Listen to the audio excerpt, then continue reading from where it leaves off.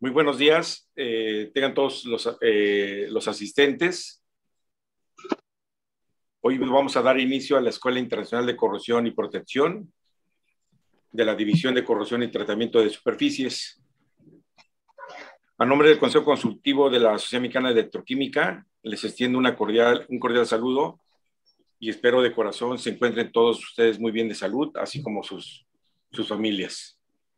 Para un servidor es grato darles la más cordial bienvenida a esta escuela de corrosión, que es organizada por la Sociedad Mexicana de Electroquímica, como parte de las actividades del proyecto impulsado, impulsando la promoción, difusión, divulgación de la electroquímica en México, actividades de la SMEP 2021-2024, con el, proyecto número 317614 en segunda etapa.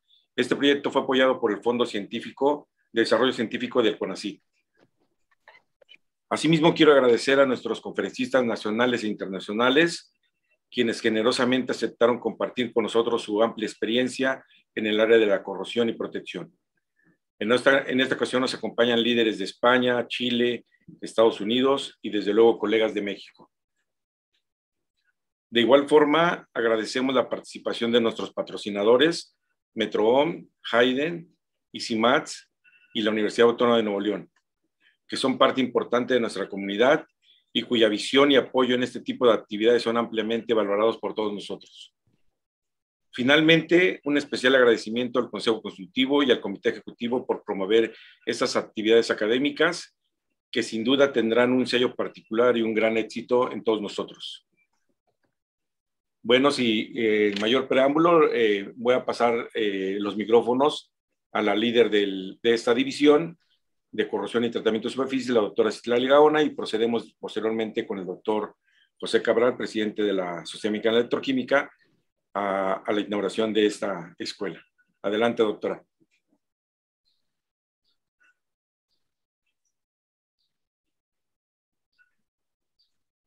Está en silencio, doctora.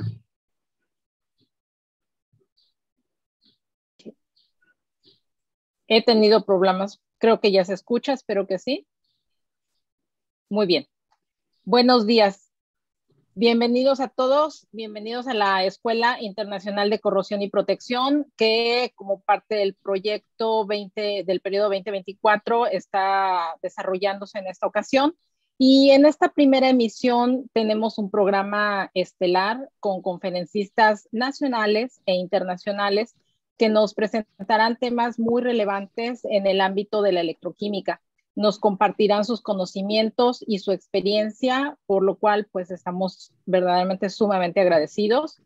El programa que les compartiré, compartiré ahorita brevemente eh, incluye para el día lunes una plática eh, a cargo de la doctora Lucien Beleva del Sinvestav Unidad Mérida, una plática sobre termodinámica del proceso de corrosión y una plática sobre principios de corrosión por parte del doctor Luis Garfias de Dow Chemical Company.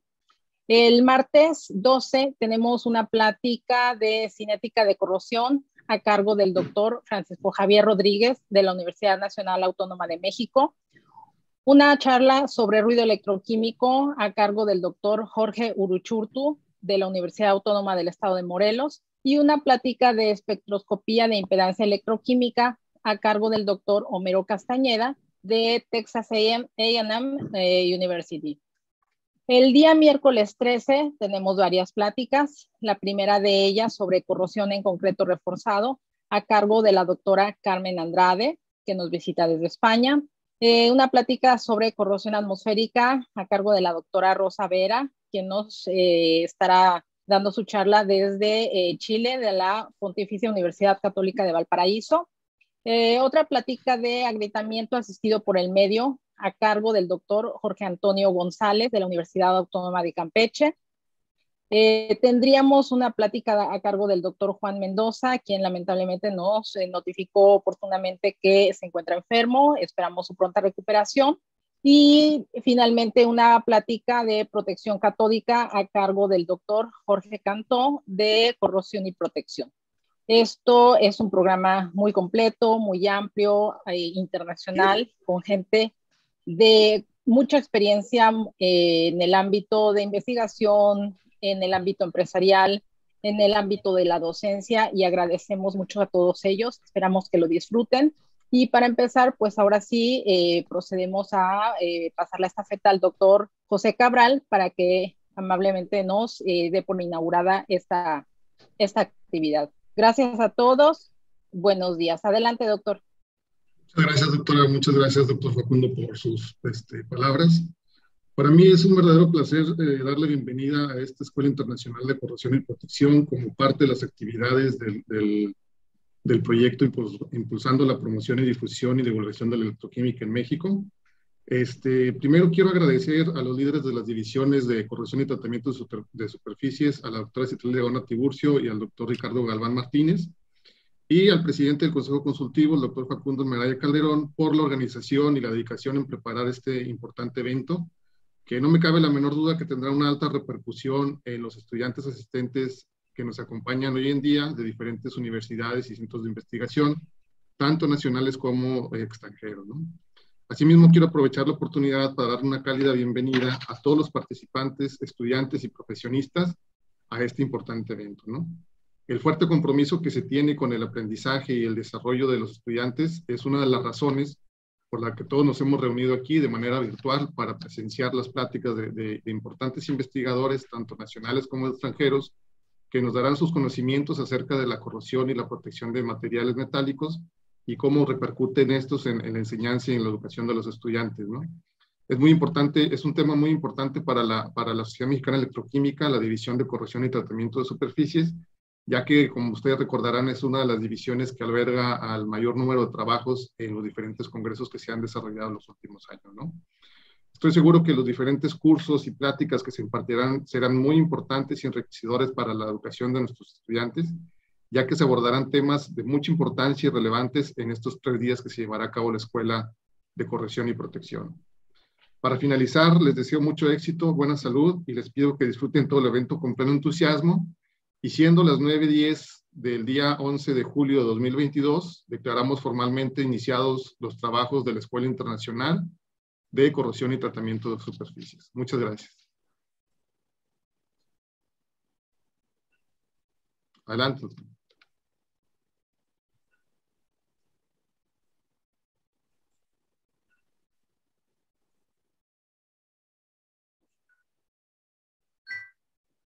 Muchas gracias vamos a dar inicio a las actividades de este primer día de la Escuela Internacional de Corrosión. Y para mí es un verdadero honor presentarles a la primera ponente, la doctora Lucien Beleva, una excelente persona, profesora e investigadora, miembro destacada de la Sociedad Mexicana de Electroquímica y con grandes éxitos en su vida laboral, profesional a lo largo de toda su colaboración eh, con nosotros en nuestro país y en la Sociedad Mexicana de Electroquímica. La doctora Lucien Beleva se graduó como ingeniero en electroquímica en la Universidad Químico-Tecnológica eh, de Sofía, en Bulgaria, y en 1981 como doctora en química en el Instituto de Físico-Química, también en Bulgaria. Posteriormente trabajó como investigadora en el Instituto de Protección de Metales de Corrosión en diferentes áreas, deposición de metales, inhibidores, corrosión atmosférica y desde 1989 a 1994 como jefe de Laboratorio Nacional de Corrosión. Al ser invitada por el CIMBESTAB, la unidad Mérida, donde actualmente se encuentra, se incorpora como investigador titular en el Departamento de Física Aplicada. Actualmente es responsable del Laboratorio de Fisicoquímica, impartiendo cursos y dirigiendo tesis de maestría y doctorado en el área de electroquímica y corrosión. En 2011 recibió la distinción doctor honoris causa de la Universidad Autónoma de Baja California en 2012, el premio Francis Lopez de, la, por parte de la STM. En 2013, por la NACE International, también una distinción. Y en 2020, el Premio Nacional de la Sociedad de Electroquímica. Actualmente tiene más de 200 artículos publicados en revistas internacionales, asimismo capítulos en libros, y es autora del libro Corrosión de Metales y Degradación de Materiales, que publicó en 2010. Con esto eh, y sin mayor preámbulo, los dejo con esta interesante plática que nos va a presentar el día de hoy. Adelante, doctora, bienvenida y muchas gracias por acompañarnos.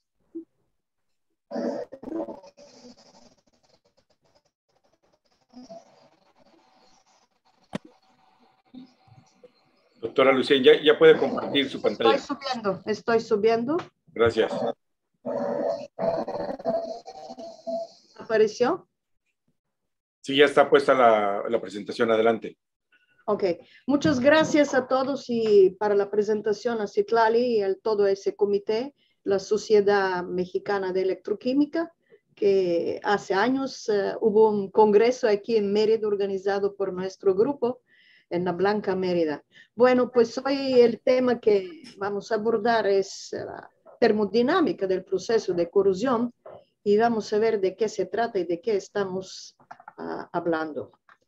Bueno, si decimos metales, que, tenemos que hablar nada más de metales porque hay todavía gente que dicen uh, corrosión involucra y otros materiales. No, y ASTM, INEIS y cualquier otra normatividad nos avisa corrosión tiene que ver con los metales. ¿Y por qué ocurre la corrosión? Por lo que voy al origen de los metales. Y ahí vamos a ver qué dice la termodinámica.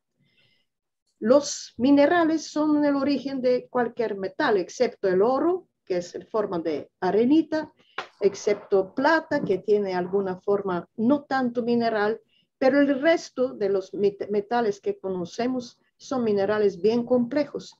En el caso de cobre tenemos un mineral que tiene varios compuestos, tiene sulfuro, tiene sulfato, tiene óxido y todo esto está mezclado en un compuesto mineral. El níquel igual.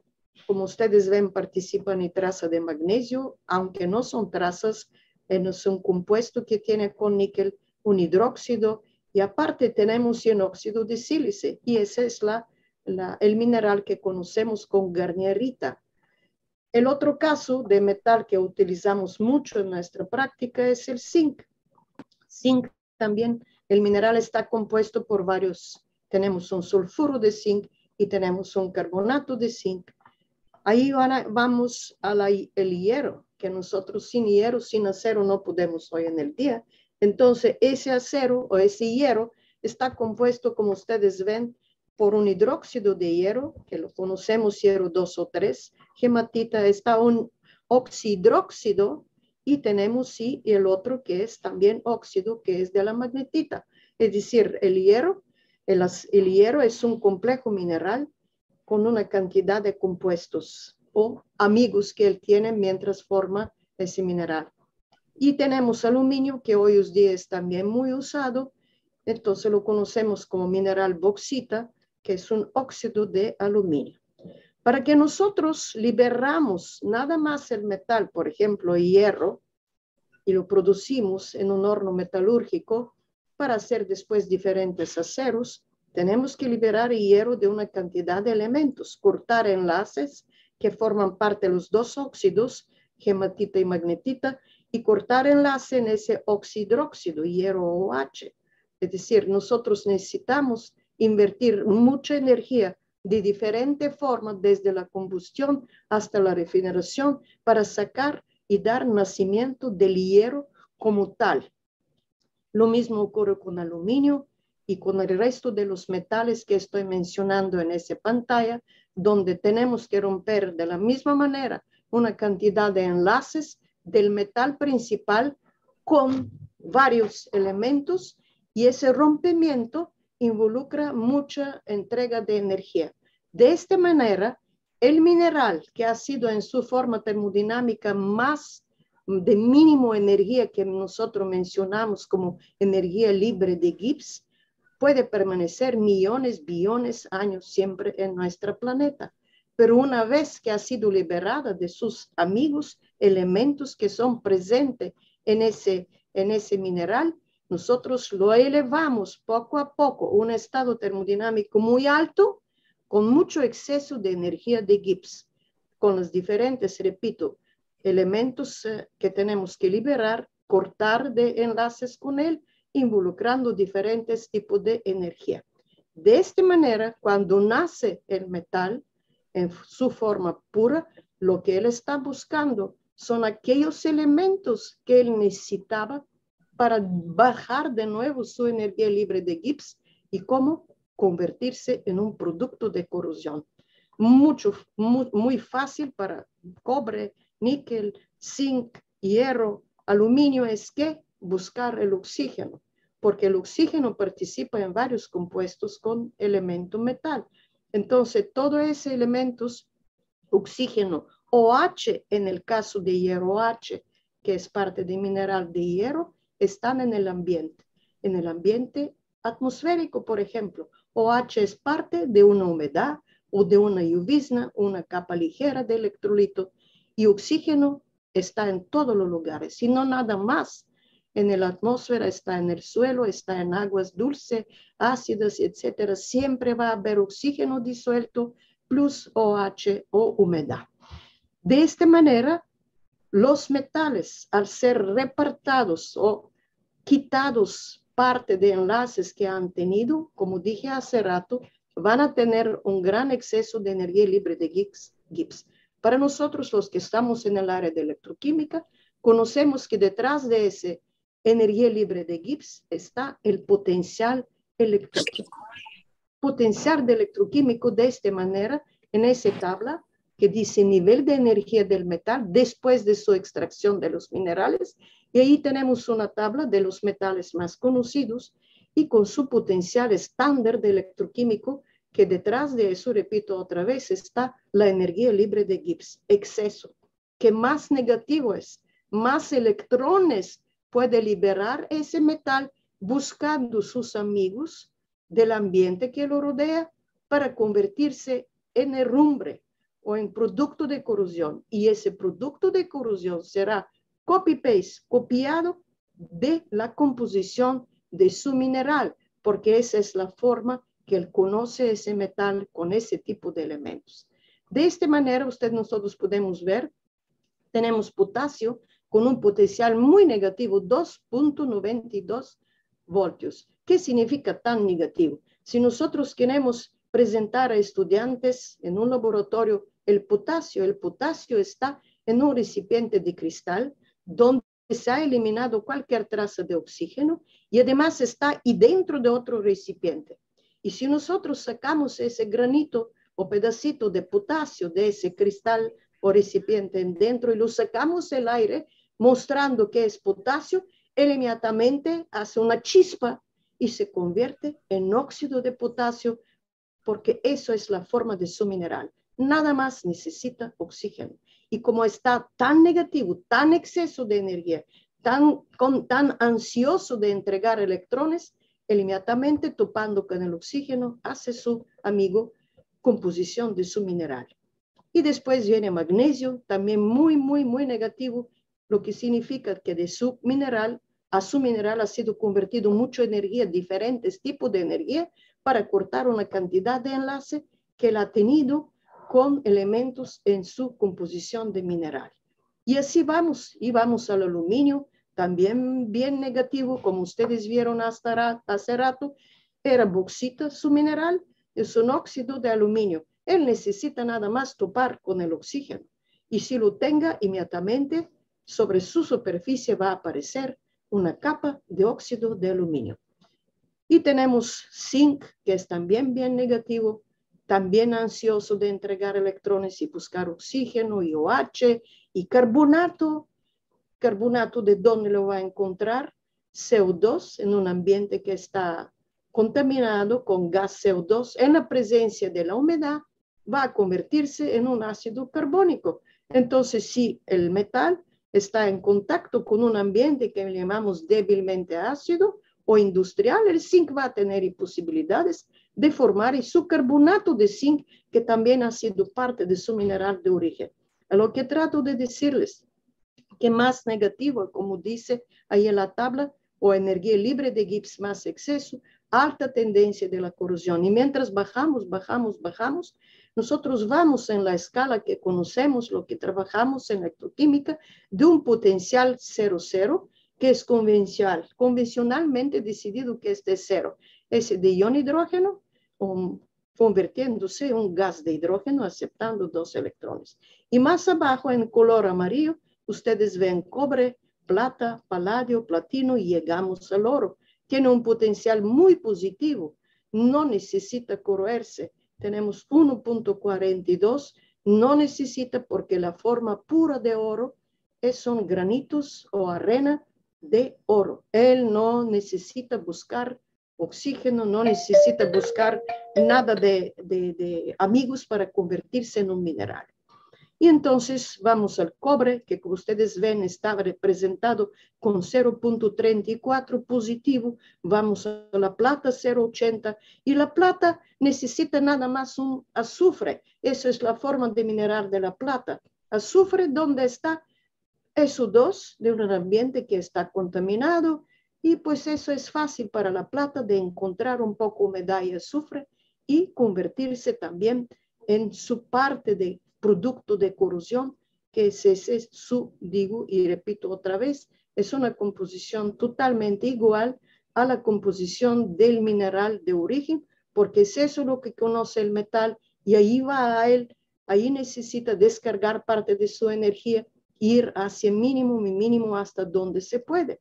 Claro, el metal, todo ese metales no se van a convertir a metal, el mineral, ¿no? Una cosa sólida, si se va a convertir en productos de corrosión y si con avance ese deseo del metal, él totalmente va a desaparecer. ¿En qué sentido? Se va a convertir en herrumbre, en producto de corrosión y nosotros vamos a perder en metal totalmente, cuyos costos son muy grandes.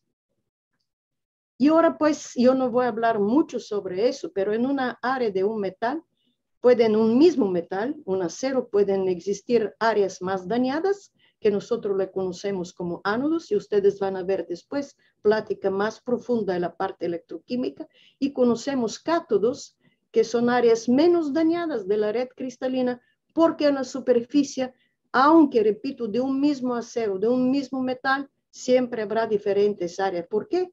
Porque nosotros vamos a suponer que hacemos un laminado de un acero, laminado pasando el metal entre esos rodillos, la parte que es la superficie siempre será dañada.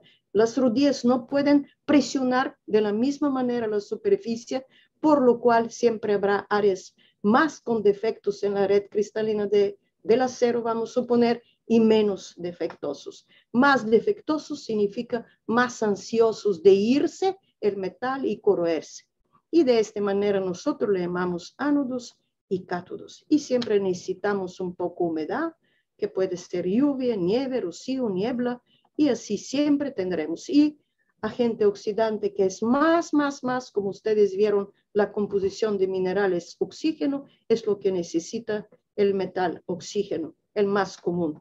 Y de nuevo, aquí estoy mencionando que una herrumbre, un producto o una cáscara de corrosión de acero será exactamente sus óxidos, hidróxidos, hematita, magnetita, lepidocrosita, hierro H en sus formas, que son totalmente la composición del mineral del acero.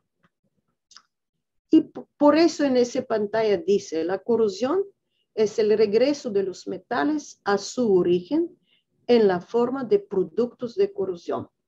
Pero de esta manera el metal sí va a bajar su exceso de energía, va a entrar en un pozo termodinámico menor que le va a gustar, ¿vale? Va a gustar, pero nosotros vamos a perder el metal. Y aquí es una ah, ah, fotografía de morfología de productos de corrosión de acero. Inicialmente inicia como está, es la columna de izquierda, como gamma, que nosotros conocemos lepidocrosita, que es exactamente hierro H, uno de los partes de los minerales de la composición del hierro. Y tenemos después, con el tiempo, lo que he estudiado, hay transformación entre dos fases, gamma y alfa, pero ustedes ven aquí hay como una telaraña donde está mi cursor, mi mouse, y aquí de nuevo inician ese gamma, son como unos nidos muy bonitos, aunque el acero no es tan agradable cuando se corroe. Y con un tiempo, a la parte derecha, de nuevo hay conversión entre las fases, gamma y alfa, de nuevo la telaraña, otros nidos, es decir, con el avance del producto de corrosión, de proceso, perdón, de corrosión, más abunda ese hierro H, que es típico de mineral de hierro. Y a veces están los óxidos, hematita, magnetita, pero esto se da en condiciones específicas, contaminación de la atmósfera. Y bueno, ahí vamos a entrar en la termodinámica. Aquí hay un señor que muchos de nosotros conocemos, que es Marcel Pourbet, que de 1900 a 1998, él creció, crió en Bruselas un laboratorio que se dedicó exactamente a la termodinámica del proceso de corrosión, que era muy importante. Esos son muchos ensayos y, y les voy a presentar. Él falleció, pero sigue su hijo como jefe o vamos a decir cabeza de ese laboratorio de termodinámica de procesos de corrosión. ¿De qué, qué hicieron Marcel Pourbet y su grupo? Voy a utilizar la termodinámica, el diagrama del hierro, porque hierro, repito de nuevo, es el acero que sin acero nosotros no podemos hoy vivir, diferentes formas de acero de construcción, por ejemplo. Entonces, lo que hizo el grupo es un trabajo voluminoso. El diagrama termodinámico de Pourbet tiene un eje que es potencial, cuya escala yo di que cada metal tiene un potencial específico, le llamamos estándar, y el eje X es el pH, porque por detectó que en dependencia del pH, como está cambiando de solución acuosa del ambiente húmedo, vamos a decir, cuando hay una capa húmeda sobre el metal, está cambiando lo que se está produciendo sobre el metal. Imagínense cantidad de ensayos que se necesitan hacer cambiando el potencial con una, una fuente externa, polarizando el metal, el hierro, y cambiando el pH desde tal niveles hasta tal niveles y cada vez analizando qué ha pasado sobre la superficie del metal, la termodinámica que ha producido. Fíjense que nosotros aquí no hablamos en ningún momento y no vamos a hablar sobre velocidad de corrosión. La termodinámica nos da la posibilidad de que un proceso de corrosión ocurre espontáneamente o no ocurre por X razón. En la tabla de estándar de potenciales que mencioné, el hierro tiene un potencial que es aquí donde está mi mouse, 0, negativo 0,44 milivolts o, volts o 440 milivolts. Ahí está. Eso es su estado estándar. Entonces, si se va cambiando por el eje X, el pH, nosotros vemos que ocurren estados de corrosión y después es muy interesante cuando entramos en un pH, aquí están mencionando los productos de corrosión, nosotros estamos, como ustedes ven, hay posibilidades para la magnetita, hierro 3 o 4, pero se necesita cambio del pH, un ambiente más alcalino y más ahí y más ahí, y vamos a ese estado donde pueden ser formados diferentes hidróxido de hierro. En esa franca rojiza que tenemos aquí es muy interesante y yo voy a decir a rato por qué termodinámicamente eso nos ayudó por, por B, Marcel por B, para descubrir ese rango. Y por otro lado, lado, si nosotros vamos desplazando hacia menos negativos el potencial de hierro con una fuente externa que muchos de ustedes conocen con la palabra un potenciostato, vamos cambiando, quitando electrones. Por eso nos vamos hacia valores más, más incluso positivos. Y aquí depende del pH, puede ser también una corrosión, por ejemplo, aquí, pero son iones de Ferri. Y aquí puede ser con el pH, ese potencial más positivo, una hematita, que es un sólido sobre la superficie, y así. Y aquí, en todos los diagramas de por B, hay un atlas grande que edita periódicamente NACE, donde entran muchos diagramas termodinámicos de por B de una cantidad de metales, no nada más en agua. Eso es la cosa más sencilla, pero por B tiene hecho su grupo y ligeramente contaminando el agua con fluoruros, ligeramente contaminando el agua con nitratos, sulfatos, simular diferentes ambientes con contaminación. Y bueno, y en cada diagrama de por B hay dos líneas que aquí están marcados con el color punteado azul, como ustedes ven. En esa línea, cuando se alcanza ese potencial 1.23 positivo y vamos bajando por el pH, eh, cuando aumenta el pH, esa es la línea donde el oxígeno puede convertirse en agua, aceptando cuatro electrones. Y si vamos bajando en un potencial que alrededor de cero es convencional de iones de nitrógeno, de, perdón, de hidrógeno, nosotros estamos en la segunda línea punteada azul, donde dos iones, es un ambiente ácido, pueden aceptar dos electrones y nosotros vamos a observar sobre un hierro, acero, unas burbujitas muy finitas de gas de hidrógeno. Y entre estas líneas, muy importante es la termodinámica. Aquí el agua, el oxígeno, hidrógeno, todo es muy estable. No, pero si vamos a potenciales positivos, como dije eso, y a potenciales menos negativos o más negativos, tendremos la segunda línea. Entonces, yo repito, imagínense la cantidad de ensayos que se debe hacer para que tengamos termodinámica de un hierro en tantos puntos. Esos son miles puntos, yo le garantizo. ¿okay? Plus el estudio de la superficie para, o de la solución para que se vea qué iones se están liberando dentro del electrolito donde está sumergido o inmerso el hierro. Y voy al otro diagrama que más quiero decir algo, otra forma de ese diagrama de hierro, repito de nuevo, hierro, porque es muy importante, nosotros somos cantidad de aceros. Necesitamos el acero, si el acero hoy en día y en el futuro no podremos hacer nuestras estructuras. Ok. Y ahora, quiero decir ese pedazo donde está mi mouse.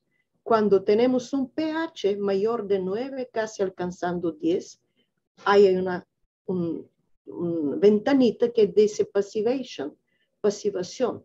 Sobre el metal en ese rango de potenciales 9, 12 y algo, se ha visto que sobre el metal se está formando un hidróxido de hierro y una magnetita, hierro 3 o 4. En ese pedazo, cuando B trabajó y descubrió ese rango de potenciales y de pH, y lo nombró como pasivación. ¿Por qué? Porque el metal al entrar en la capa húmeda, donde hay humedad, donde hay oxígeno, por supuesto, inmediatamente se corrió.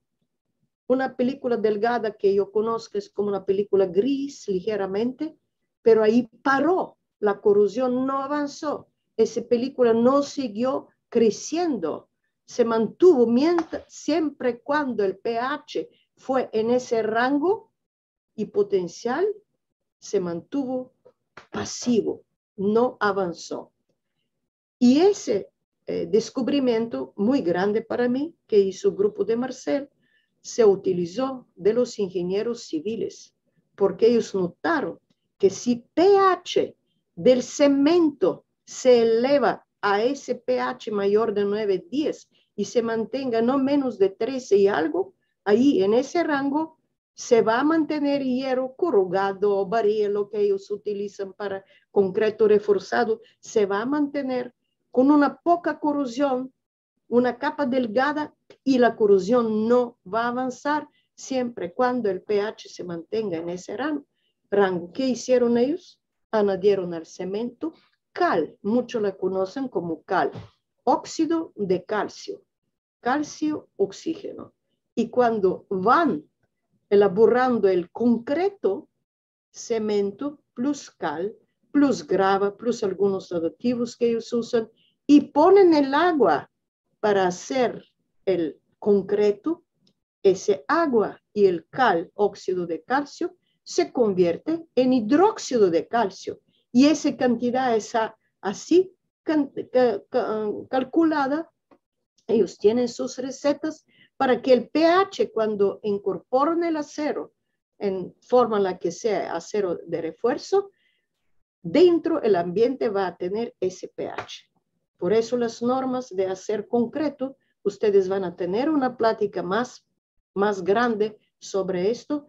Recuerden eso, que aquí ellos necesitan un pH bien alcalino para mantener el acero de refuerzo en estado pasivo. Y eso es gracias a la termodinámica que se elaboró por el grupo de Marcel B. Y ahí tenemos algo muy importante, otra cosa que nos indicó por B. Ese es 0.44, negativo es donde está mi mouse, es potencial estándar del hierro, de acero. Si nosotros con una estación externa, un tipo de potenciostato, quitamos electrones, perdón, damos más y más electrones, vamos a potencial más negativo, más negativo, 0, menos 8, 1, 2, etcétera, por B, su grupo vio que en un rango enormísimo de pH, sea ácido, sea alcalino, ustedes ven dónde anda mi mouse, dice hierro en estado inmune. ¿Qué hicieron ellos?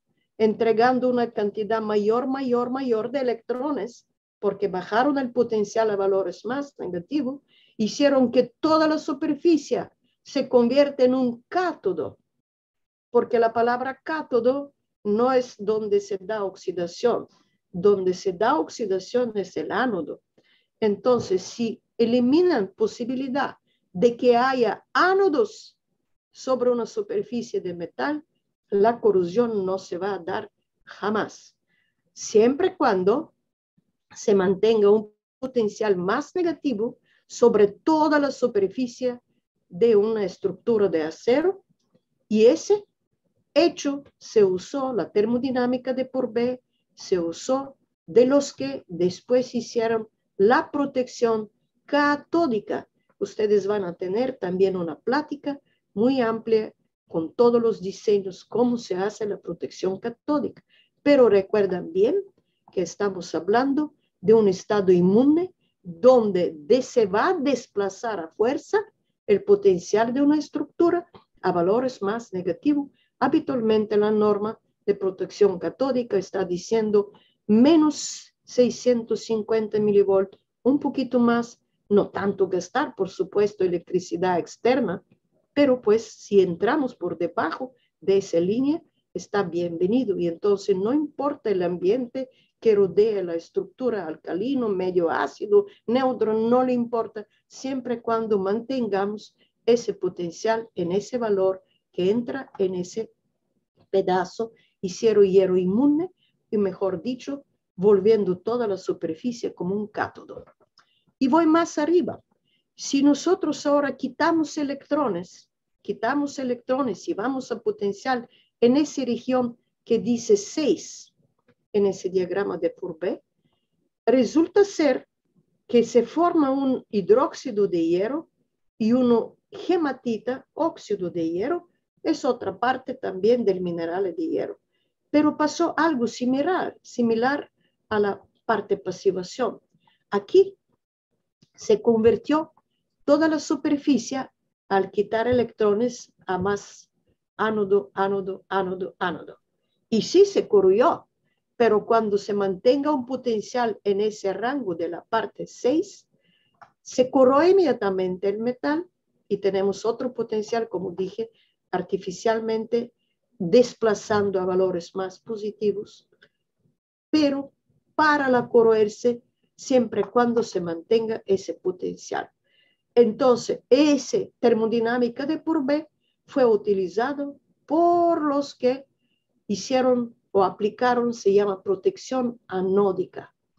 Los, los reactores grandes de producción de fertilizantes, ningún metal, ninguna aleación no podría aguantar la agresividad que tienen los fertilizantes donde se producen en diferentes empresas en el mundo, siempre cuando ese contenedores o ese reactores, también el reactor de producción de ácido sulfúrico, sulfúrico o leo, se aplica protección anódica de la forma similar, pero contraria de la catódica, sobre toda la superficie se aplica un potencial menos negativo, bastante positivo, para que inicia, entra, forma un producto, capa de producto de corrosión que va a mantener el desarrollo de la corrosión, no va a avanzar. cuando hablamos de tal capa, ¿qué significa? En el caso de pasivación, en el caso aquí de protección anódica, hay productos de corrosión, como dije, pero estas capas son tan poco porosas, o si son porosos, el diámetro de estos poros son menores que el tamaño, diámetro del oxígeno. La mayoría de los metales necesitan oxígeno para ir produciendo un óxido hidróxido que es parte de su mineral. Si oxígeno, por su tamaño, no puede penetrar, no puede transversar estas capas, no puede llegar al sustrato, ¿para qué? Prosigue la corrosión. Eso es, eso es el sentido de una capa pasiva.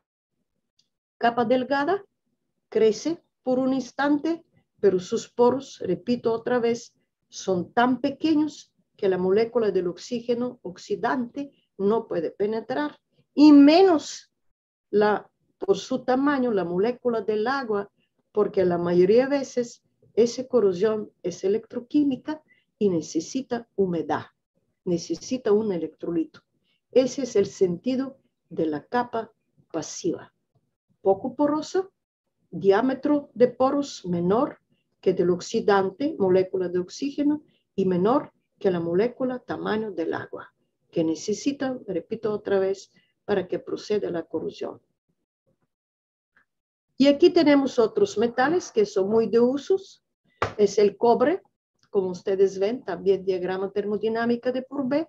Tenemos cobre, su potencial es por, por ahí 0 plus 34, por ahí anda. Como ustedes ven, a pH negativo, eh, ácido, perdón, siempre habrá corrosión. Pero si avanzamos por su potencial y vamos al ambiente más neutros, que es un ambiente atmosférico, como ustedes ven, por su potencial estándar, él va a ser un óxido de cobre, cuprita que conocemos, y, hacer, y va a ser el otro pH y un poquito potencial más menos positivo que él tiene, va a ser otro cobredoso que por B también lo llamaron todo ese pedacitos como ustedes ven, aunque diferente pH, siempre va a ser ese óxido de cobre. Y ese óxido de cobre, de nuevo, esa etapa, todo ese rango de potenciales y pH, aunque cambie, está considerado como etapa pasiva, película pasiva, y de nuevo, detrás de la palabra pasiva, deben recordar poros cuyo tamaño es menor que molécula de oxígeno para que proceda la corrosión y menor que tamaño del agua. Por lo tanto, etapa pasiva. Y de nuevo, ha encontrado por B y su grupo cambiando, desplazando el potencial hacia valores más negativos, dando electrones, llegando en etapa inmune por debajo de toda esa línea tenemos, como dice, cobre, cobre, nada más, no, no tenemos. Es decir, recuérdense que etapa inmune significa, al desplazar hacia valores negativos dando electrones, significa convertir toda la superficie en un cátodo. Y si no hay ánodos, estado inmune, no avanza la corrosión. Y de nuevo han trabajado, por supuesto, cambiando a potenciales más positivos y diferentes rangos ha sido estudiado qué es lo que se está formando. Es un trabajo enorme termodinámico lo que ha hecho estos investigadores, mucha química analítica y muchos análisis superficial y tanto de la solución para que sepan qué es lo que se está formando, cambiando pH, pH, pH, después desplazando valores que no son estándar de metal y otra vez dándole más electrones hacia potenciales más negativos. Y aquí vamos al zinc, que nosotros utilizamos mucho, mucho. Hay muchos techos de zinc galvanizado, de zinc de reactores de, de ex sureste en México y en muchos países. En los países nortes también ha sido utilizado hace dos siglos zinc. Zinc, mucho ha sido utilizado.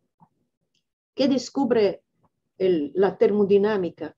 Que en un rango el zinc tiene como aquí potencial 0,44 negativo. Descubre que a un pH entre 6, 7 y algo, medio neutro, aunque cambie por X razón aquí su potencial, siempre va a ser un mismo producto de corrosión que se conoce como carbonato de zinc. Y si recuerdan, el mineral de zinc era un sulfuro de zinc y la más mayor parte era carbonato de zinc. Es decir, cuando el metal zinc está nacido, y ya nació, entonces puede formarse inmediatamente el ambiente atmosférico carbonato de zinc. Y entonces si se va a pH más alcalino, pues va a ser un, hidróxido de zinc, se va a ir disolviendo poco a poco eh, toda la superficie, que por eso está dado como etapa de corrosión. Y a potenciales más positivos sigue corriéndose, pero libera en la solución, en la humedad, electrolito donde se encuentran iones de zinc. Y de nuevo, ha sido posible encontrar una región de potenciales mucho más negativos que el potencial de zinc, mucho más negativos, aplicando una polarización externa de un potenciostato y convertir en un rango muy grande de pH, no importa el pH, llegar a estado inmune, convertir toda la superficie, repito, en cátodo, dando electrones exceso, porque los electrones están sobre los sitios catódicos. Y de esta manera, como no hay ánodos, no hay corrosión. Y llegamos al otro metal que nosotros utilizamos mucho, sin este no podemos, tenemos perfiles de, de ventanas, de puertas, aviones que son basados aluminio y sus aleaciones con algunos elementos. Y la termodinámica nos muestra que allí está el aluminio, entonces nosotros tenemos una gran parte de pH, como ustedes ven, y potenciales donde dice óxido de aluminio, una molécula hidratada, y todo eso es pasivación. Aquí tenemos nosotros una gran suerte, enorme suerte, que aunque el ambiente no es muy, eh, es, no es tan neutro, como ustedes ven, de un pH grande, tenemos pasivación, formando ese óxido porque, si se recuerdan o no, es el mineral bauxita, es el único que es un óxido de aluminio.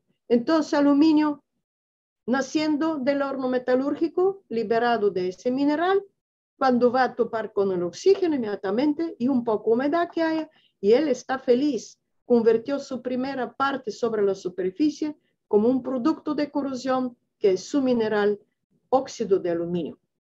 Pero aquí tenemos suerte, porque esa capa, si ha sido considerada como capa pasiva, voy a repetir otra vez, son poros cuyo tamaño es tan pequeño que no puede penetrar el oxígeno por su tamaño, tampoco el agua, la molécula del agua, la humedad, para que prosigue la corrosión.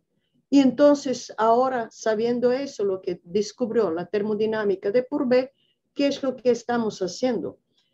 Todos los perfiles o lo que se ha producido de aluminio se va en reactores grandes, llamamos galvánicos, talleres, donde se hace anodización se convierte, se conecta el, perfil de puerta o lo que sea, de, ventana, como un ánodo, y ánodo significa corroer. Sí, queremos que se corroe más, que forma más óxido, más óxido, más óxido, a fuerza, aplicando, aplicando una, un potencial externo. Corroerlo más, ¿por qué? Para que esta capa no sea tan delgada, porque son parte de la micra, la natural que se forma, y que sea muy gruesa, 100 micras, 150, 200 micras, para que nosotros estemos tranquilos, que al utilizar después en un ambiente va a aguantar esa capa. ¿Y por qué necesitamos más crecerla? Ahora va a decir, porque todas las capas pasivas, lo que hemos visto y hablando aquí, y hierro, aluminio, cobre, etcétera, y todos los metales tienen enemigo más grande en la termodinámica que es ion de cloruro. Ion de cloruro, esas son regiones costeras, marinas, ambiente marinos, agua de mar, etcétera, que abundan ion de cloro. ¿Y por qué ion de cloro? Porque su tamaño resulta menor que de poros de cualquier capa pasiva que hoy en día nosotros conocemos. Y puede penetrar el maldito ion de cloro, es muy móvil, puede llegar al sustrato, el metal que sea, y él forma un cloruro de tal metal, por ejemplo, cloruro de hierro. Y ese cloruro de hierro inicia a tupir, a hacer como un pitting, picaduras, perforaciones pequeñas sobre la superficie de la capa pasiva y cuando se llenan ese tunelcito, volcancito con cloruro de hierro, rebota afuera y ese cloruro de hierro y muchos cloruros de metales se disuelve, se disuelve y abre una área fresca de metal donde ya hay superficie grande de poros y la corrosión inicia velozmente. Por eso en el caso de aluminio hemos tenido tal posibilidad de hacer, de anodizar, de formar, crecer su capa para que el ion de cloro de cualquier manera tiene que penetrar mucho más espacios en esa caverna de tanto poros y llegar al metal.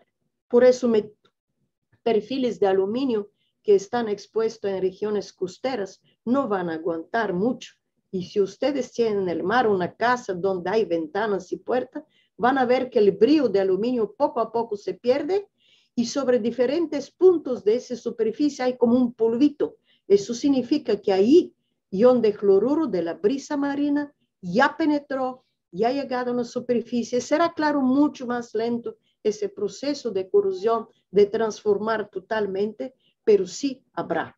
Por eso, ambientes que contienen cloruro no son bienvenidos para tales estructuras que forman su capa pasiva.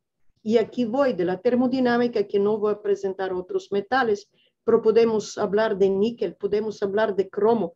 Esos son metales que tienen potencial muy negativo, es decir, ansiosos de corroerse, pero tenemos una salva, salvación que ellos inmediatamente forman igual en forma de aluminio, una capa de óxido, cromo, níquel, molíbdeno, y esta capa delgada es como capa pasiva, siempre cuando no está el ion de cloro. De esta manera, toda la termodinámica que estudió B dio posibilidades a crear qué? Aceros inoxidables.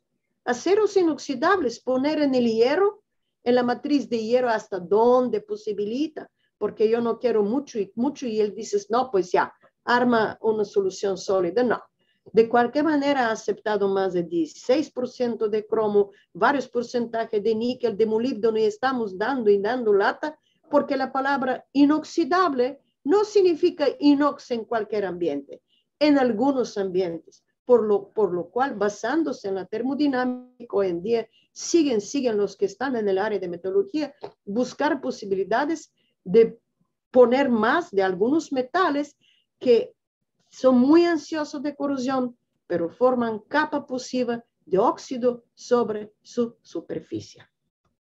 Eso es el enorme trabajo termodinámico que ha hecho por ver que nos ha dado la pauta, voy a repetir, para corrosión de acero eh, de esfuerzo en concreto, buscando un área alcalina, eh, contenedores de protección anódica, de producción de diferentes fertilizantes, soleo, ácido, etcétera. Protección catódica, sin el cual, o estado inmune, desplazando en potencial hacia valores más negativos, sin el cual no puede existir hoy en día gasoductos, oleoductos, acueductos y todo eso. Todo es eso gracias a la termodinámica, a conocer la termodinámica de, del grupo de Forbet. Yo aconsejo que cualquier persona que inicia a andar en el área de corrosión, que siempre busca comprar el atlas grande de, de, de NEIS que está editado, es la termodinámica de Purbe, que ustedes van a ver muchos metales y van a ver posibles reacciones, qué ocurre, y eso es un guía muy importante para cualquier principiante corrosionista, incluso no principiante, incluso para mí, Siempre estoy buscando la nueva edición porque aparecen más ambientes, no nada más agua, donde ha sido estudiado la termodinámica según el grupo de Purbe.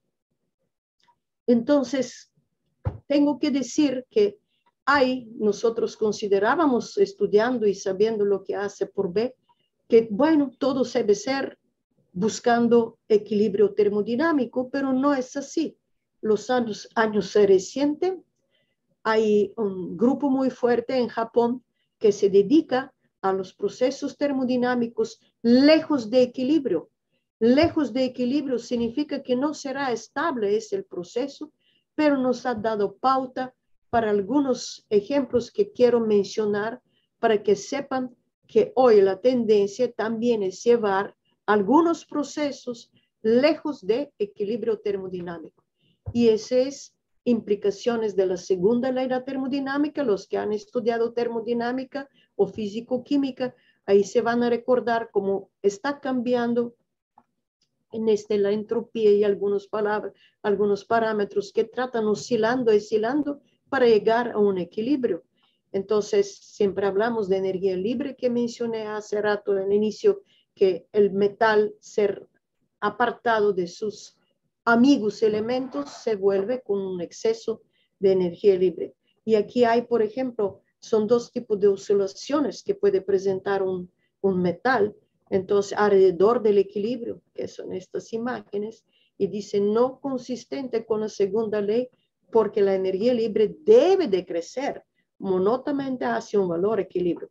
Y esas oscilaciones en dirección hacia el equilibrio, pues son, vamos a decir, todavía no están bien aceptados de la termodinámica, pero sí son fenómenos reales.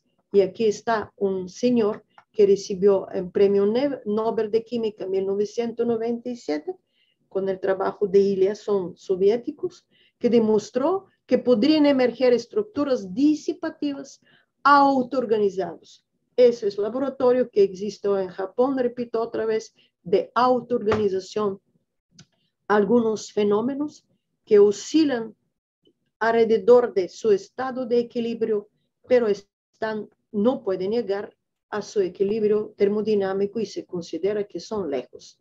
Y aquí está el otro logro, esa la reacción de Belousov Jabotinsky, que también he estudiado en una tesis de maestría en doctorado, para ver cómo ese, ese tipo de, de fenómenos que son lejos de equilibrio cómo se autoorganiza la superficie. Y la reacción de Belousov Jabotinsky también son dos eh, rusos soviéticos, un estudiante, Belousov y Jabotinsky, su director de la tesis en aquel entonces, observaron en un tal ambiente que a una cantidad de sales que ustedes mencionan abajo, cuando inicia la reacción sobre la superficie inician a formarse diferentes espirales que turnan a izquierda, algunos a derecha, cuando chocan, se anilan, inicio otra vez. Es muy, muy interesante de que un proceso quiere autoorganizarse cuando no puede llegar a un estado termodinámico de equilibrio. Y aquí son los espirales que estaba mencionando. Lo hemos hecho en laboratorio para que veamos en ese recipiente normal de cristal, al poner tal y tal aditivos, sales, cómo se organiza la superficie. Es muy interesante visualmente a ver. Y bueno, pues nosotros hemos estudiado a ver qué pasa con termodinámica de ese potenciales, cómo van avanzando y etcétera, no voy a detallar. Y ahora quiero decir algo más. Nosotros perdemos los productos, eh, el metal en forma de productos de corrosión o rumbre, pero hubo un gran periodo de corrosión, de corrosión electroquímica, lo que estamos en ese área, que no prestamos atención y qué pasa con esos productos de corrosión. Ah, bueno, algunas cascaritas se caen en el piso, en el suelo, eh, más luminosos, eh, y se van y todo eso, estructuras, techos de zinc, etcétera. Pero hace siete, ocho años, ah, como miembro de ISO, eh, tuve el papel de estudiar el efecto de esos productos de corrosión en un fenómeno que estoy segura que no van a entrar en ninguna plática siguiente, por lo cual yo quisiera prestar atención y le llamamos en el ISO, en las normas de ISO que salieron hace dos, tres años, le llamamos runoff, corre afuera, corre el producto de corrosión. Entonces, ¿a qué se refiere? Por ejemplo, en Noruega, en Suecia, en, en México, en sureste y en muchos otros países, hay muchos techos que son de zinc. Cuando la superficie, el pH del ambiente es menor de 5 o 6. El caso de Tabasco en México, donde hay muchos pozos petroleros, el ambiente alrededor, la humedad es alrededor de ese valor. En nosotros, pues sí, se corroe, ya sabemos, los techos y todo ese contenedores, pues sí, hay trigo, no sé qué más, pero se corroe, se corroe, se corroe. Y bueno, y se va la cascarita y se pinta otra vez y de nuevo se corroe, etcétera. ¿Y qué pasa? Resulta ser que algunos productos de corrosión de zinc pasan, se disuelven cuando ese pH es menor de 0.56, como carbonato de zinc, por ejemplo, hidróxido de zinc, se disuelven y liberan iones de zinc. Y estos iones de zinc se filtran en suelos, lagunas, ríos, mares, y de ahí inició en Europa el problema de los productos de corrosión ¿qué, tanto nos afectan en el caso de zinc?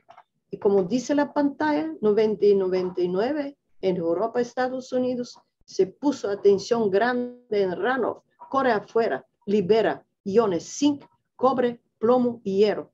Entonces, como consecuencias que se vio, que hay trazas de diferentes metales en suelos, aguas potables y no potables en muchos países.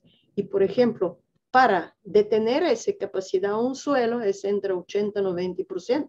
Casi lo detiene, ahí se queda. Y a través de él pasa el agua y nosotros tenemos agua potable, aunque tratada, etcétera. Y estos iones de zinc están dentro de este agua que está tratada o medio tratada o potable. Y como dice en Francia, París, la Ranov había llegado a tal grande cantidad de microgramos en litro y la mayor concentración es mil. Y hay aguas residuales, etcétera. En México ese valor es, México ese valor es muy grande, mayor de 9000, lo que hemos detectado en muchas aguas, pero todavía no se presta tanto atención. Y ese es el consumo de zinc en México. Yo creo que es igual en muchos países alrededor. Es como ustedes ven, son techos de casas y acero galvanizado. Acero galvanizado, ¿qué significa acero? Sobre el cual tenemos una capa de zinc por caliente, inmerso y hecho, por eso le llamamos acero galvanizado, pero la palabra galvanizado significa con zinc. Entonces lo mismo ocurre en Yucatán y se ha detectado mucho, mucho aguas subterráneas que tienen tanto. Y aquí son tuberías de zinc, alambres, pugas y todo eso es acero galvanizado. Lo mismo ocurrió en Estados Unidos con producto de corrosión de zinc que porque se aplican circo caliente o pulverizado en muchos puentes, como aquí es el River Bridge, también en otro, en Oregon. Todo eso es, son toneladas de zinc que son aplicadas en áreas de los, ah, los puentes. Entonces todo está en forma de spray, de aerosol caliente, ¿no? Entonces eso fue y fue un alarmante, por lo cual se inició a trabajar y hoy sabemos que no todos los productos de corrosión son bienvenidos para la humanidad y tenemos que prevenir el uso de algunos, en ese caso de zinc galvanizado. Y bueno, yo quisiera decir que la corrosión no puede ser parada, ¿no? Eso es obvio, es un proceso espontáneo.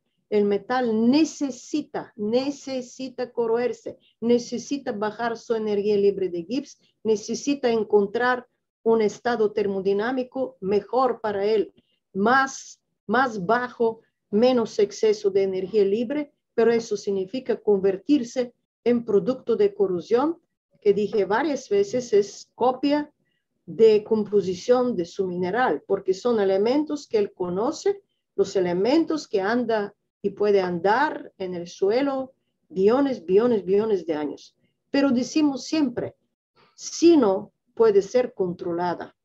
Controlada, por ejemplo, usando los conocimientos que nos dio termodinámicamente Marcel Purbe, aplicar protección catódica, aplicar protección anódica, ah, mantener un pH alcalino en el caso de concreto. Eso es controlar, sabiendo que ahí nosotros podemos llegar a una etapa pasiva, un estado que podemos y debemos controlar y siempre tener un ojo sobre el ambiente porque dije varias veces, enemigo más grande de todas las capas pasivas, de todos los posibles estados que nosotros consideramos que estamos controlando, es el ion de cloruro. Eso es nuestro problema grande y, de nuevo tenemos que saber cómo proteger eh, estas estructuras. Hay muchos métodos también que ustedes van a tener en las pláticas, iniciando con recubrimientos, con capas de pinturas. ¿Qué es esto? Esa es una barrera física, nada más. Una barrera física, por ejemplo, un tipo de pintura para que alejemos el metal o aleación del medio ambiente, hacer una barrera más grande para que penetre oxígeno, para que penetre ah, humedad, para que penetre iones de cloruros, siempre cuando controlamos esta película, esa barrera artificial física que hemos creado sobre la superficie. Y por supuesto, no es usar cualquier pintura, por ejemplo, porque mencioné pinturas, depende del ambiente. Un, ambiente seco, como es Mexicali, por ejemplo, que casi no tienen humedad, pues no necesitan tanto barreras porque aquí no hay humedad. Y recuérdense, ustedes van a ver después en la plática, y aquí yo mencioné inicialmente, además de oxidante, necesitamos humedad. Si no hay humedad, cortamos una ala de la corrosión y no puede desarrollarse. El oxígeno difícilmente podemos quitar ¿no? en un ambiente, pero la humedad depende en qué clima está expuesta ese, esa estructura. Y bueno, pues yo aquí quisiera mencionar que al presentarme mencionaron de ese libro, que es un libro que tiene mucha experiencia mías y muchos ensayos que hemos hecho durante mi estancia en México. Aquí hay muchos ensayos, aquí hay capítulos y sobre eh, algunos, eh, iniciando con la termodinámica, por supuesto, y ese libro fue presentado hace unos años, en 2010, todavía tengo algunos ejemplares, creo que son 40 que son propiedad de Simvestar, pero tienen un precio muy bajo de 500 pesos y siempre se pueden solicitar. ¿Qué es lo que contiene ese libro? No es que me estoy haciendo promoción, no.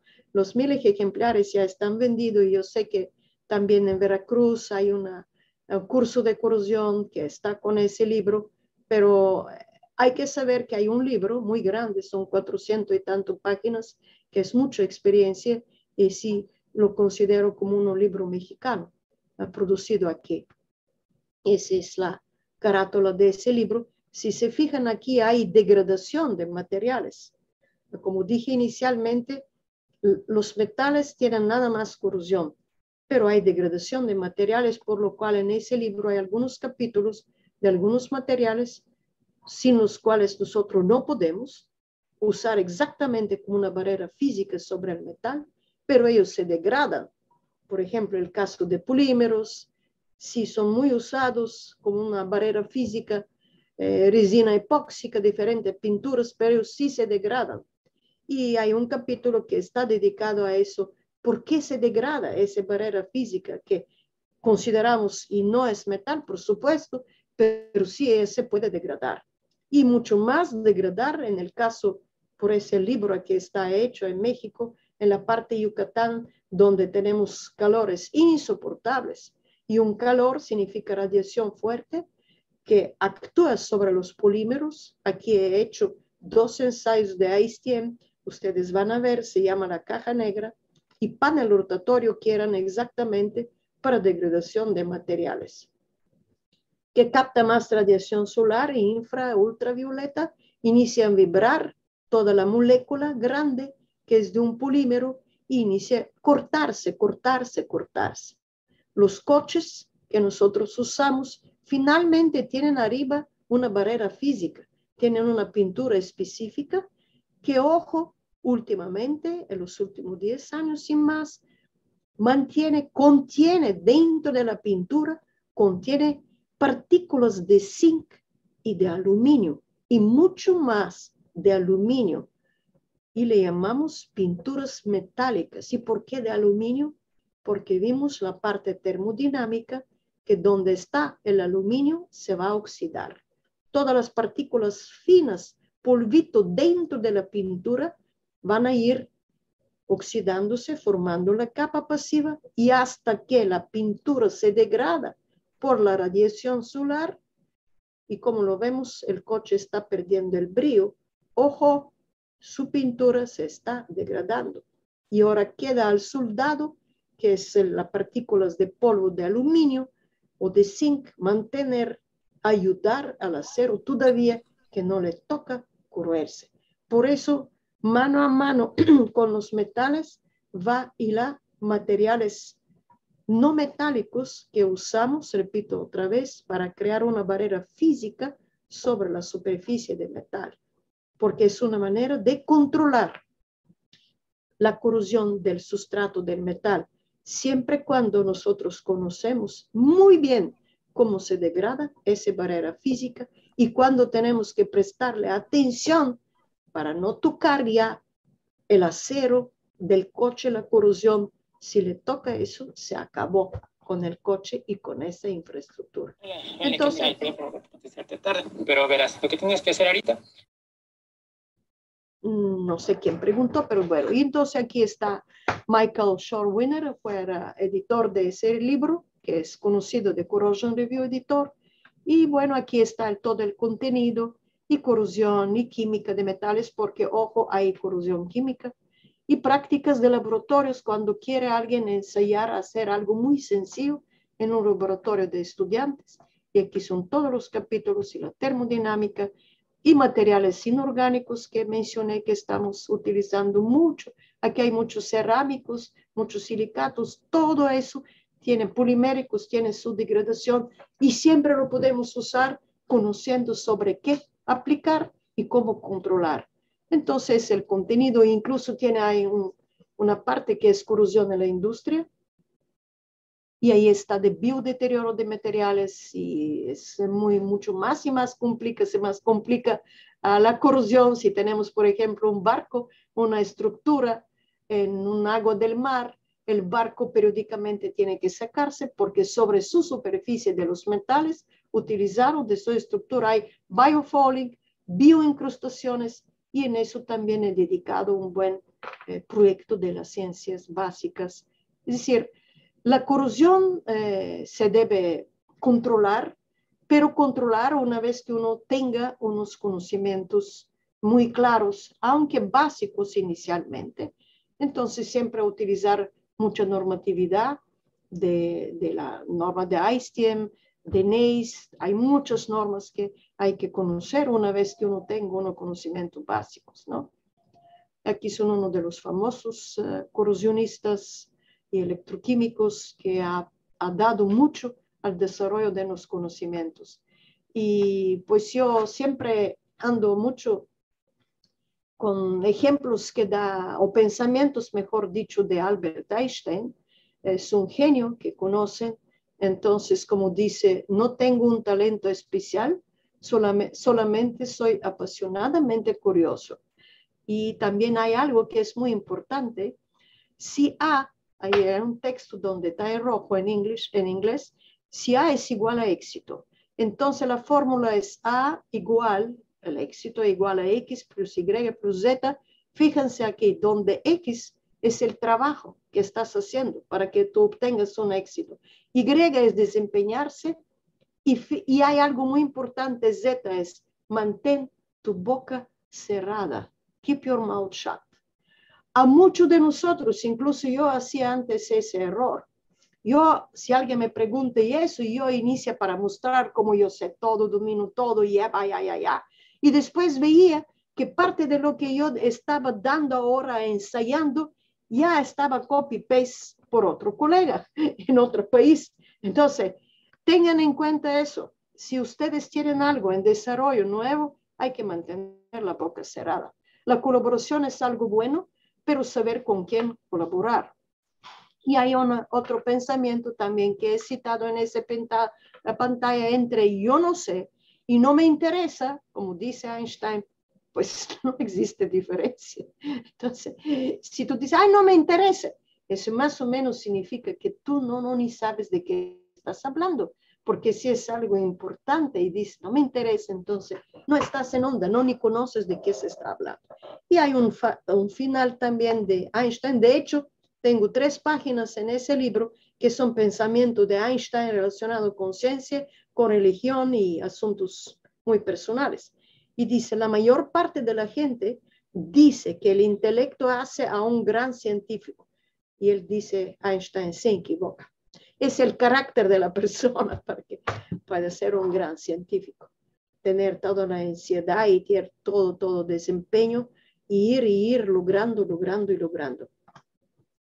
Bueno, con esto voy a terminar. Es, gracias por su atención. Ah, yo espero que de algo le va a servir esa plática y si hay algunas preguntas, siempre pueden ah, venir. Y pues si no, este, aquí hay un email que dice Veleva, sí, Sinvestaff MX, y siempre estaré atenta a lo que quisieran conversar y en lo que puedo apoyar. Y también les dijo con los pocos ejemplares que todavía el libro, Propiedades Sinvestaff. Bueno, pues eso es de mi parte. Eh, estoy a su a sus preguntas, a sus dudas, mientras estamos aquí en vivo. Ok, gracias. Muchas gracias, doctora. Muchas gracias, muy interesante. Las preguntas las voy a ir leyendo. Les agradeceré que las hagan a través del chat. Ya tenemos, de hecho, ahí algunas. Las iré leyendo para usted, para usted, doctora, y que nos haga favor de, contestarlas. La primera eh, de Genaro Camacho. ¿Qué pasa cuando se pasiva un metal y después se somete a otro potencial para depositar materiales sobre el mismo? Ah, el metal, como vimos, la termodinámica de por B es, un rango específico de potenciales y pH. Si tú sales afuera de ese rango, pues ya no tendrás capa pasiva. Simplemente, si estás dentro del rango de la capa pasiva y aparte, como yo dije en el caso de aluminio, quieres crecer su capa pasiva, lo vas a poner a anodización, que es un producto ¿no? artificialmente creado capa óxido. Pero repito otra vez, siempre cuando estás en el rango donde pH, según la termodinámica de por B, eh, existe esa capa pasiva. Este, diagramas de por B, otra vez voy a decir, los ejemplos que di del Atlas son los más sencillos, nada más una humedad, que no está ni tanto contaminado con algo específico, a lo mejor hay trazas, algo de eso dos, a lo mejor hay trazas de sulfatos, pero no están teniendo en cuenta. Sin embargo, si ustedes conocen que su ambiente tiene sulfatos, tiene carbonatos, por el CO2, tiene cloruros, tienen que acudir a otros diagramas de Purbe que les va a ayudar porque él tiene y agua plus equisión, ¿no? Y ahí sí un poco está más complicada el diagrama de termodinámico de por B. Eso es lo que puedo decir. Tener a mano eh, el manual como una base, una base para saber algo de termodinámica. Espero que le he podido contestar. Muy bien, muchas gracias, doctora. Tenemos otra pregunta de eh, Janet Galván. ¿Qué problemas se han detectado por el runoff y qué países sí lo monitorean? Eh, em, Actualmente, como yo mostré una pantallita, se está monitoreando y de ahí inició. Francia detectó una cantidad grande de cobre en sus aguas potables, aguas, suelos, ríos, y pues no sabía de dónde puede ser eso. Y resulta ser en Francia, es una tradición, los que han visitado a Francia o no, no importa, allá ha sido utilizado como dos, tres siglos techos de iglesias que son de cobre y a veces ese cobre luce con un cuprita así verdoso, cloruro, algo así verdoso, pero es mucho cobre. Pero con la industrialización en México, eh, perdón, en París y en otras ciudades grandes, donde están esas catedrales y iglesias de cobre, nadie no sabía que parte de ese producto de corrosión puede disolverse ah, debido a pH menores de 5 o 6. Eh, Noruega, Suecia, ellos utilizaron mucho tiempo zinc como lámina sobre techo en los siglos anteriores. Y ellos dieron la alarma de que agua potable y suelos está y ríos está con ese metal que es también metal pesado. ¿En qué sentido pesado? Para riñones, para gastritis, para muchos, muchos órganos, no es bienvenido que esté en el agua. Y de ahí inició la alarma hace como 15 años, 12 años, de que hay algo está pasando y que nosotros no sabemos de dónde vienen esos metales. Y se hicieron muchos ensayos, mm, algo parecido con ese de por B, de tener producto de corrosión y a ver el pH qué va a pasar con ese producto. Y ahí se detectó un rango donde se pueden disolver exactamente algunos productos, como el caso de zinc, carbonato de zinc, que es común. Inmediatamente, como vieron el diagrama de por B, en lo que primero se forma sobre un zinc galvanizado, acero galvanizado, se forma carbonato. Y si lo mantiene, si lo detiene, no es como una, no es capa pasiva, pero vamos a decir, es un producto que hace una barrera física. Siempre cuando el pH del ambiente no decae y no va hacia 5, 6, 5, 8, etcétera, lo que ocurre, como dije, en Tabasco y muchas regiones donde se produce eh, petróleo, gas, también igual. Todo ese ambiente está lleno de, de óxido de zinc, azufre de óxido de azufre, que en la humedad que hay, caso de Tabasco y muchas otras regiones, inmediatamente se convierte en un ácido y baja el pH del ambiente y le decimos en este caso lluvia ácida, humedad que tiene pH oscilando hacia 5 o 6 por ahí. Eso es a tu respuesta. En México todavía no hay normatividad que, vamos a decir, hace de que no puede ser usado porque son muchas regiones, casas humildes o rejas o fugas que sí se hacen con acero galvanizado. Es decir, aquí todavía no se está tomando tan en serio. Pero bueno, pues ya por eso salió la norma. Hizo hace unos años que tiene tres capítulos, dos partes, como hacer, analizar. Y yo tuve, vamos a decir, tarea, correr la norma Ranoff aquí en México, en sureste, en una tesis de doctorado de una joven doctora, Ebelia Meraz, que vive ahí en ese clima por lo que hicimos muchos ensayos, mucho química analítica, cada lluvia, cada llovizna, cada humedad, recoger y a ver, analizar qué cae, qué se disuelve, etc. Y prácticamente en ese hizo norma, tres de referencia son de México, parte de esa tesis, es decir, México ha aportado mucho, aunque todavía no, no se toma tanto eh, en cuenta de ese fenómeno. Muy bien, muchas gracias, doctora. Otra pregunta. En la actualidad, ¿hay algún otro método para determinar los estados termodinámicos de los metales? Por ejemplo, algún tipo de simulación o modelo matemático? Yo no conozco de modelo matemático. Yo conozco lo que hacen simulaciones, es, no, no, no pueden simular exactamente eso porque ellos tienen los vecinos más cercanos átomos, ¿no?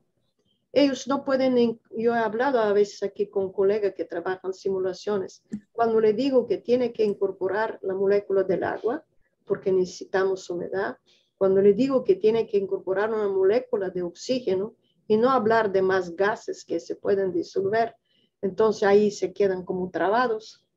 Eh, lo que ellos pueden hacer, por ejemplo, si tenemos una capa pasiva de dos elementos, saber incorporar otro metal, ¿qué tanto aceptaría en estos dos eh, metales, qué tanto aceptarían ese vecino?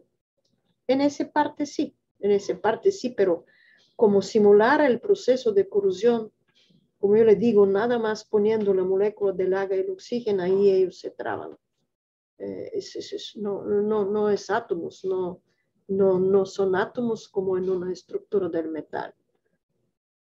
Además, cuando tú tienes que hacer simular un proceso de corrosión, tienes que ir no en el bulk, no en el interior, tienes que ir a la superficie y tener en cuenta que hay diferentes eh, red cristalina y que ese diferente red cristalina puede ser muy, en, una caso, en caso de un metal bien pulido a, a espejo, un espejo significa que la red cristalina está casi mismo al ángulo pero si no está bien pulida, que es la cosa normal en la industria, entonces ese mate significa que las redes cristalinas del metal son diferentes, por lo cual siempre habrá lugares, sitios más para corrosión y menos de corrosión. E, esa es la parte difícil de que se simula.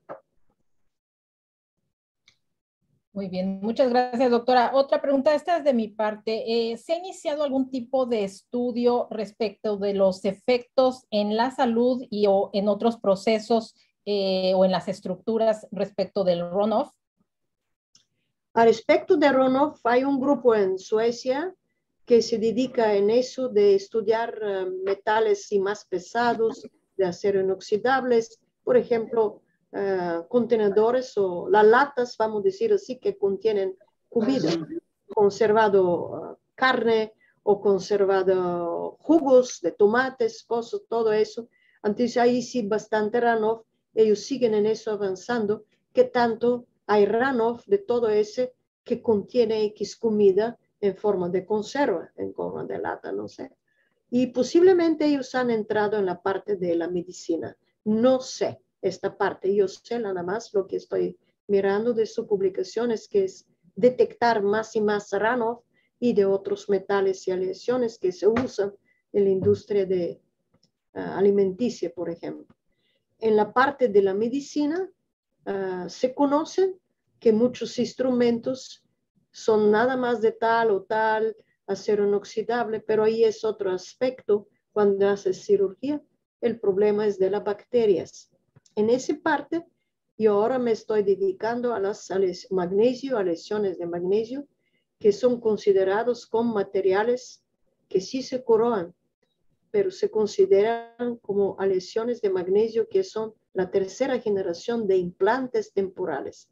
Ahí sí estoy trabajando como el efecto de corrosión, liberar iones de magnesio que sí son tolerables para el organismo hasta un punto de vista tienen que ver qué pasa con las bacterias. Y ahí estamos haciendo algunos ensayos, hemos publicado algunos sobre tales y tales bacterias y en ese hemos entrado eh, haciendo un switch entre la corrosión, eh, biomateriales y, ah, y propiedades antibacteriales. En esa parte sí estoy por exactamente por los implantes. Muy bien, muchas gracias. Tenemos una pregunta de Jesús Jaques. En caso de requerir un ejemplar del libro, ¿a dónde se pueden comunicar o dirigir? Escríbenme en ese Veleva, Sinvestaff. Yo voy a enviar su solicitud a la administración y vamos a solicitar, ellos le van a decir y dan todo exactamente la dirección a la cual requiere que se envíe el libro. Muy bien. Y otra pregunta respecto del tema que nos compartió el día de hoy. ¿Cuál es el papel de la ecuación de Nernst en la termodinámica de corrosión? El papel, yo no toqué ese asunto porque me imagino que en la parte electroquímica ustedes van a hablar. Ese Nernst nos ayuda a saber si tenemos una cantidad de iones de metal en electrolito y sabiendo que el electrodo es el mismo metal, saber cuál será el potencial. Fíjense que toda esa tablita que yo presenté, esa tablita se refiere, por ejemplo, zinc, iones de zinc y ese tal potencial 076. Eso significa que se llama potencial estándar. La palabra estándar significa que la concentración de los iones del metal es 1 molar, muy alta, muy alta, que en general cuando uno inicia de zinc, por ejemplo, y tiene humedad, capa húmedo y va a iniciar su reacción de corrosión, no será el potencial este, que es exactamente 076. No, no será. Si usted lo miden en X ambiente donde quieren medir algo, entonces van a ver que no es. Y van a decir, ¿y qué pasa? La tabla dice eso. Dice la tabla eso porque es un molar concentración de iones del mismo metal. Pero con el tiempo, si se va a corroer X metal que ustedes están estudiando con un electrodo de trabajo, van a ver que ese potencial está cambiando. Y eso es lo que estamos haciendo nosotros, es monitoreando el Open Circuit Potential, potencial de corrosión libre. Nada de aplicar con un potenciostato, aplicar polarización, no.